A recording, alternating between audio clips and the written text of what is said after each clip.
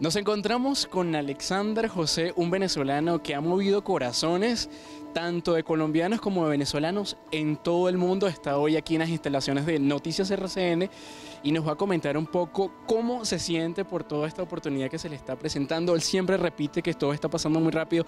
¿Esa es la percepción que tiene?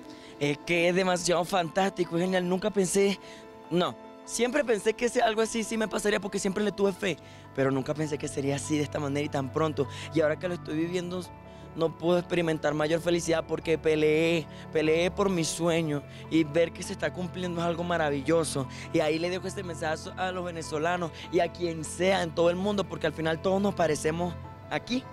Y es que no se rindan. Los milagros existen, solamente hay que atraerlos y demostrarle a Dios y al universo que tienes la voluntad para pelear por ellos. Pudiste haber hecho cualquier otra actividad aquí en Bogotá. Pudiste haber vendido dulces, pudiste haber trabajado en establecimientos de comida rápida, pero tú decidiste que querías seguir con tu talento. ¿Por qué tomaste esa decisión? Porque es lo que me hace feliz y yo hice lo posible por descubrir que mi talento, que es lo que amo y que es algo que me apasiona, me iba a dar lo que necesitaba para vivir. Y así empecé y me aventuré con valor, porque hay que tener mucho valor para pararse delante de un pocotón de personas que están hablando entre sí y tú llegar a interrumpirles. Mm, pero me apasionó hacerlo. Me apasionó entrar a su corazón y que ellos entraran al mío.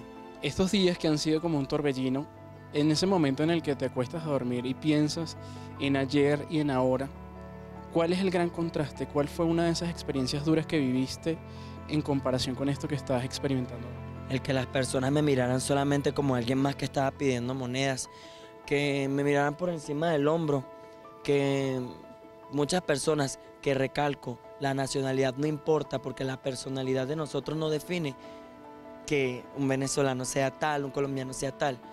Las personas como tal, hubieron algunas pequeñas, unas que otras, que en verdad hicieron que me sintiera mal, pero a la vez impulsaron más mi deseo de lograrlo más rápido para demostrarles que yo sí pude.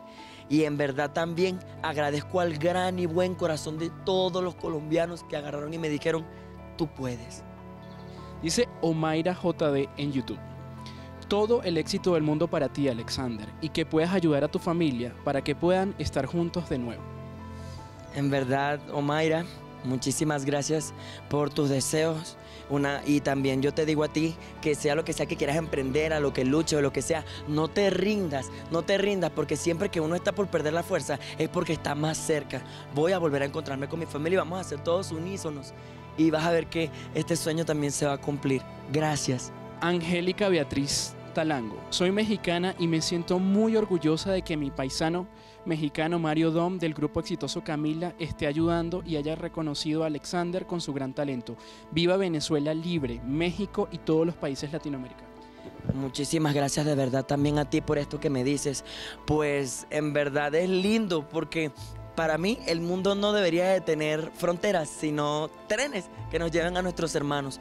De verdad le doy muchas gracias a Mario Don por esta oportunidad que me ha dado y me siento muy feliz por esto. Y ya vas a ver que pronto vamos a ser libres. Venezuela va a ser una Venezuela libre. Epa chamo, felicidades. La mejor de las suertes, amigo. Arriba Venezuela, tierra de gente con alma de lucha y corazón de manantial, pues así, en dificultades las bendiciones van para la familia y amigos. Muchos éxitos, chamo. Y bendita su mamá que le das esa alegría incomparable. Muchas bendiciones y al pueblo venezolano resiste. Ya pronto acabará esta pesadilla. Ya vas a ver que sí, has hablado con gran sabiduría, porque si hay algo que nos caracteriza a nosotros, uno es que sabemos reírnos de nuestras desgracias. y otro es que tenemos ese inquebrantable espíritu de lucha. Así que solamente te puedo decir, gracias Colombia y que viva Venezuela. Se hizo canción de los montes, quiero la inmensidad y del río una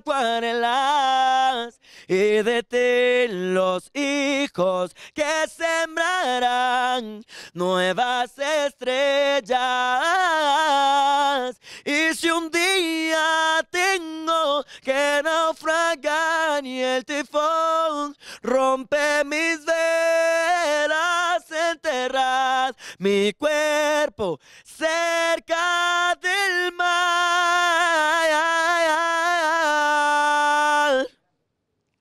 de Venezuela.